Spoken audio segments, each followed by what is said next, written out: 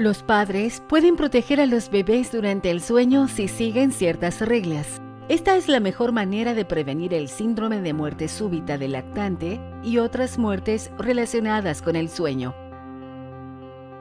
Lo más importante es acostar al bebé siempre boca arriba para dormir, nunca boca abajo ni de costado.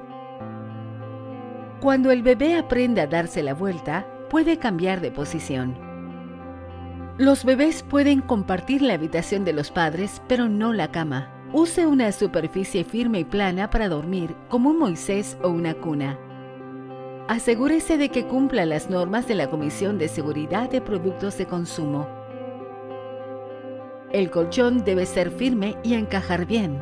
Cúbralo con una sábana ajustada y nada más. No use almohadas, mantas ni protectores. No coloque muñecos de peluche en la cuna. Pueden causar asfixia.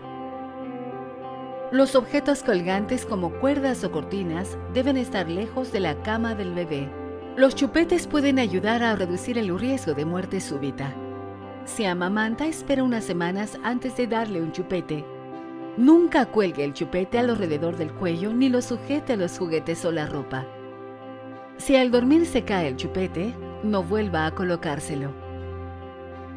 La temperatura de la habitación debe ser agradable y no abrigue demasiado al bebé. Esté atento a las señales de calor, como sudoración o piel caliente.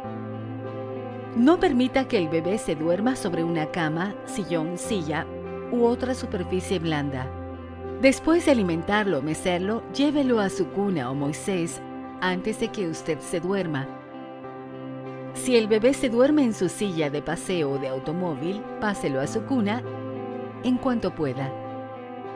Además, ayude a su bebé a estar seguro, manteniéndolo alejado del humo del cigarrillo y dándole todas las vacunas puntualmente. Si toma estas medidas, puede ayudar a mantener a su bebé seguro mientras duerme.